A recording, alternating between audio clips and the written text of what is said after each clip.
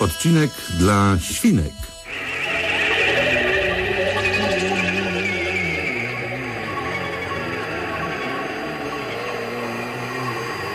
Hej, świnki! To ja, wasza mała świnka Halinka. Muszę wam zdradzić, że odkąd połknęłam bakcyla medycyny, nie czuję się najlepiej. No ale to tak na marginesie.